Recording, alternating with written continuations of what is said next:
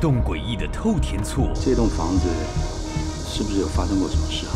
流传着九月四日的恐怖诅咒。你这个是发生过代志，恁也搁加多？一连串似有若无的鬼影幢幢。你在跟谁说话？